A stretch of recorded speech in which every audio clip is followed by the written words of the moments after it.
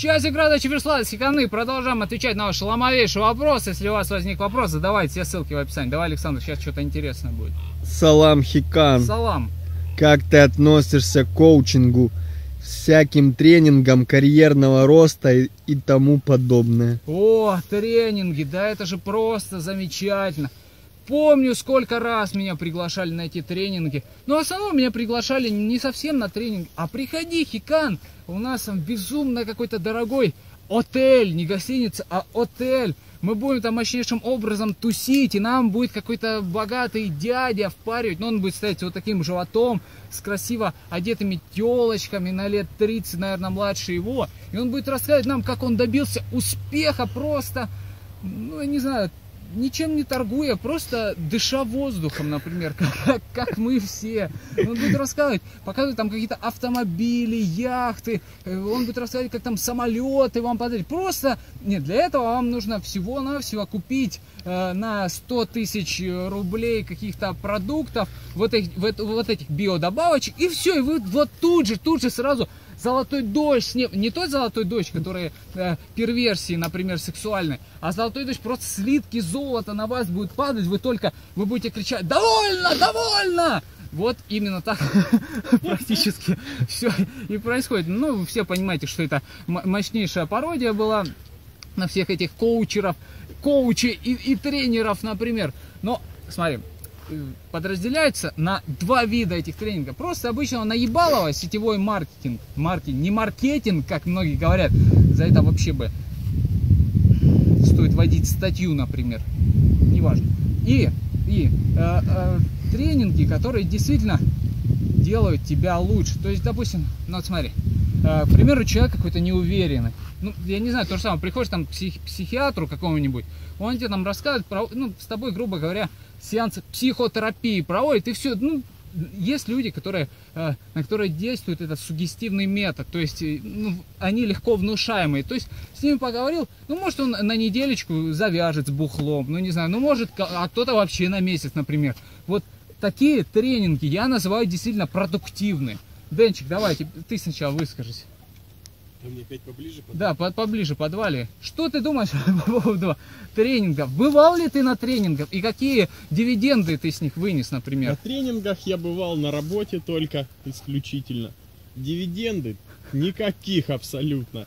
Я даже для себя никаких умозаключений не смог из этого просто выудить вот эти вот тренинги, на которые приглашают, это чистой воды вымогательство. Ну, просто даже не то, что вымогательство, это склонение человека отдать все без сопротивления абсолютно. Ну, смотри, Деня, как ты относишься? Э, ты же, наверное, видел объявление. Выйду замуж, э, я, точнее не так. Тренинг называется «Как выйти замуж за миллионера», а уже и были и за миллиардера. Ага. Вот как, почему ты до сих пор не замужем за миллиардером? Ну, потому что тугую дырочку распылять-то не особо желается. Ну а как же платоническая любовь-то бывает? Да, особенно когда тебя кто-нибудь будет сплавлять за деньги, это самая платоническая любовь. Денчик, то есть ты хочешь сказать, что все эти там тренинги, выйти замуж за миллионера или о золотом дожде, о котором я рассказывал, еще это просто наебалово и маркетинг? Да.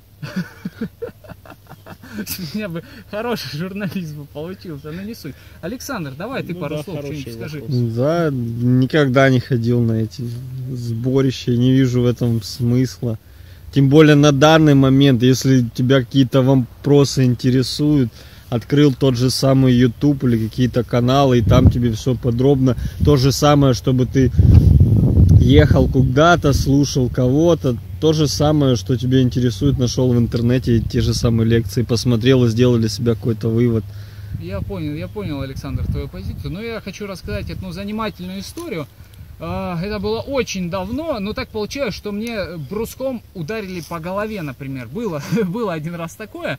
А, ну к чему это все? Просто до этого меня один молодой человек, ну наверное, где-то за год до этого, тогда только, только появились эти пирамиды, он мне говорил, Хикан, ты вот только найди там 300 долларов, вот ты сейчас ко мне вот только придешь, я тебя, ты сразу у нас будешь там серебряный уровень, потом, потом золотой ты будешь слиток, потом там ты будешь платина, а потом ты вообще сразу масоном, смотри, 33 уровня, 33 угла, прям вот Ротшильды уже буквально за сигаретами тебе будет бегать. Но я говорю, не курю, поэтому не надо, но мне... Ладно, хорошо. Он говорит, ну вот-вот, я уже один шаг остался до мирового господства, буквально мы Рокфеллеров сейчас вот уже нагнули, вот, я ему уже, я штаны снимаю, уже контрацептив-то надеваю, все, над Рокфеллеровской задницей занесся мой домоклов меч.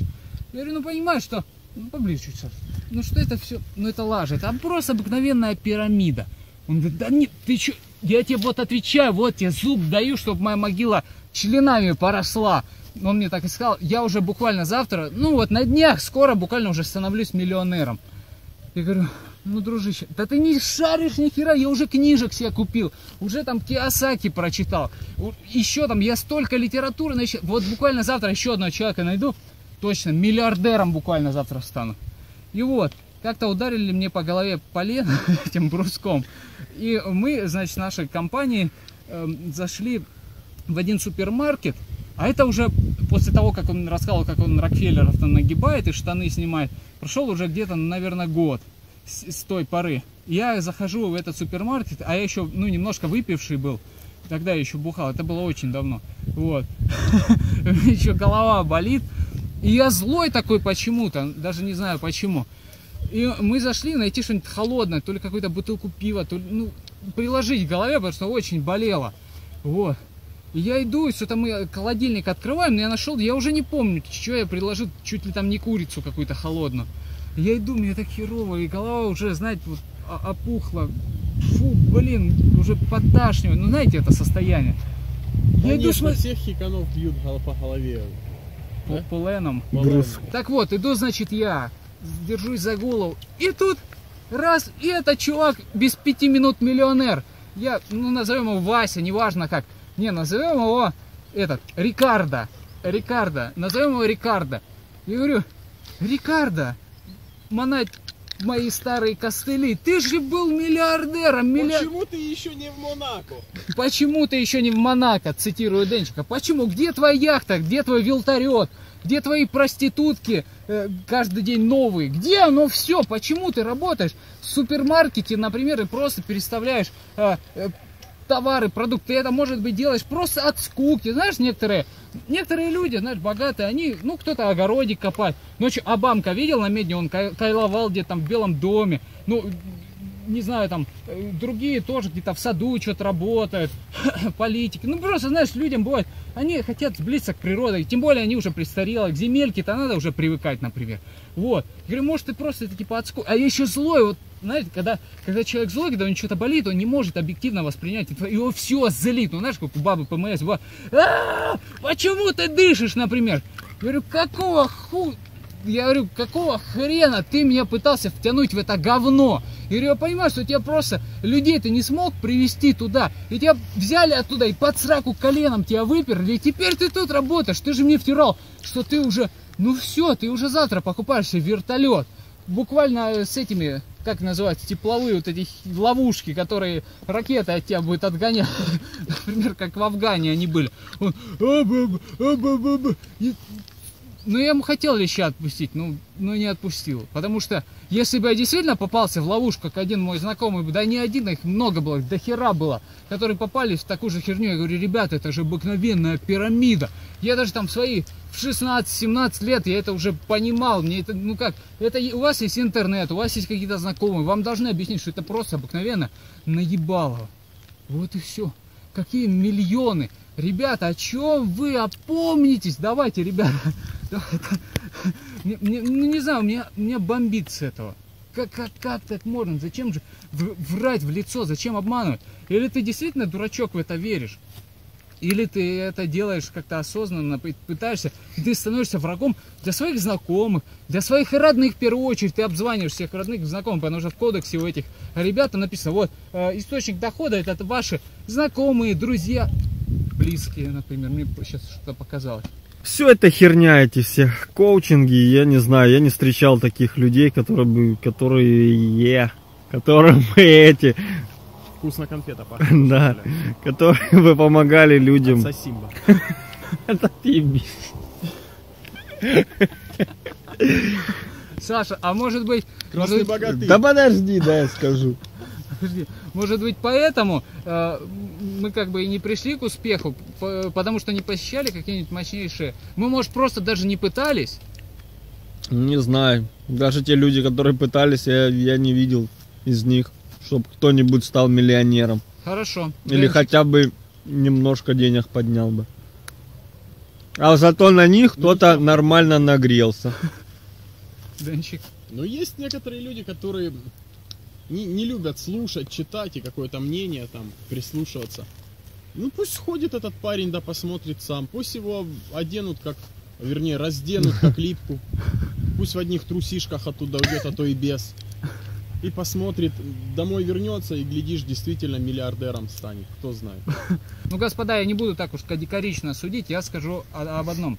Понятно, что те люди, которые вам обещают быстрое обогащение, что вот вы вложите 500, там, 300 тысяч долларов, и завтра вы уже действительно будете, как, не знаю, какие-то Морганы, мощнейшие Рокфеллеры, это, конечно, все вранье и кидалово.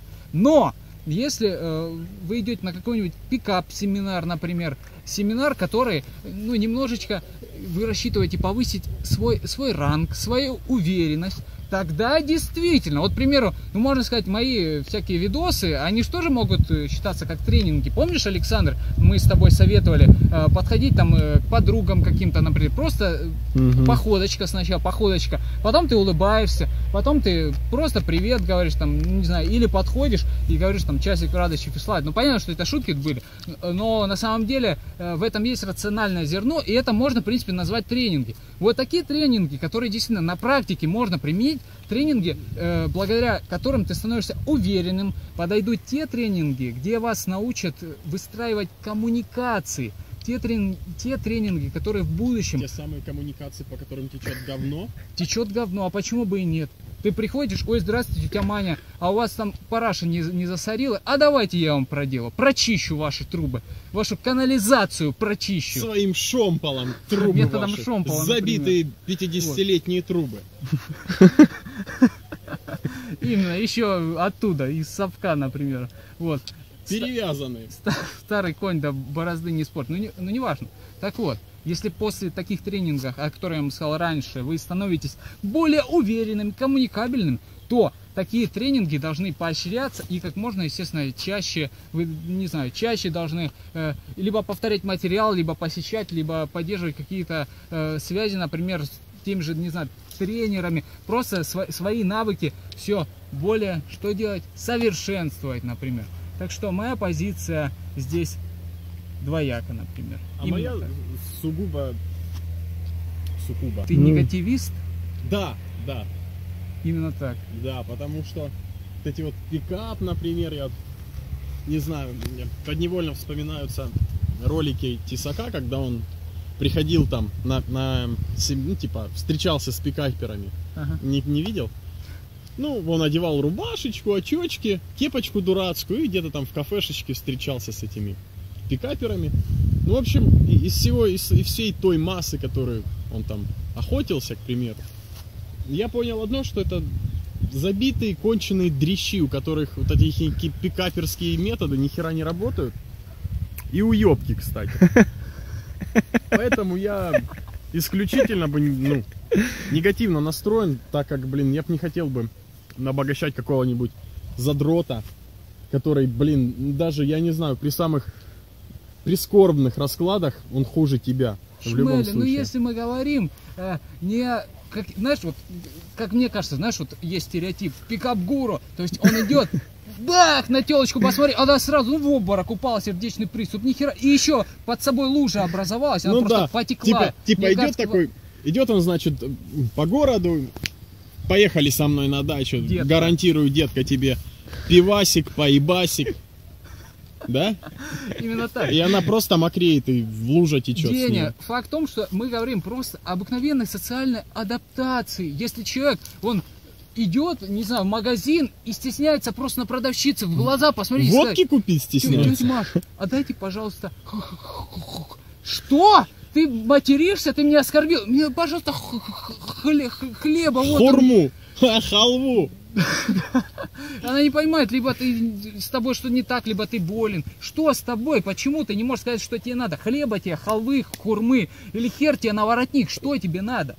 Если этот Так- человек, так если ты- этот, подожди, если тебе этот дрыщ уебок тебя промотивирует, иди купи хлеба, например, ты идешь и покупаешь хлеб. Все, mission complete. Это выполнено. Никто не говорит, а ты идешь и там 10 телок сразу тебе а, вот так вот сцепили, на прогиб тебя кинули, один прогиб, и ты погиб, и еще тебе дали. И еще и мелочи тебе в трусы насыпали. Ну и что, это плохо что ли? Он тебя промотивировал, ты пошел хлеба купил, и все. Ну, а, а дальше уже ты можешь Привет, здравствуйте, здравствуйте, Тян, здравствуйте, Тян, привет, часик, правда, чифер сладость. Никто же не говорит о большем. Просто хотя бы как-то Единственное- внутренняя уверенность в себе, чтобы ты мог хотя бы с коллегами по работе общаться, чтобы тебя там не смотрели на тебя взглядами, как э, говорил Сережка, взглядом дикого мыла, например, чтобы просто с тобой здоровались хотя бы, а не крестились, проходя мимо тебя. Вот о чем мы пытаемся рассказать. Ну, я не знаю, я скептически к этому настроен. Единственное, чем этот прищ просто на теле общества может тебя промотивировать, это своим тем, что вот оно вот такое вот неполноценное, вот просто вот не физически, не морально, никак, но оно тем не менее держится на плаву, и вот оно, оно лучше коммуницирует с окружающим миром, э, взаимодействует, чем ты. Единственное, чем это может тебе, это максимум, блядь, одно, по, один поход. И то, вместо того, чтобы этому ублюдку заплатить, пнуть ему в кокушки. Какой Денчик кровожадный радикал. Вот такие дела, ребята. Каждый из нас высказал свое мнение, каждого из нас оно разное. И не всегда они сходятся, ребята. Выбор за вами. Так что подписывайтесь на наш полиморфный канал, ставьте классы, донайте на бабули на бич-пакет, заказывайте рекламу и сигны. Слава канал Бабуль Слава. До новых встреч. Пока. компуктер, компуктер, компуктер, компуктер, компуктер.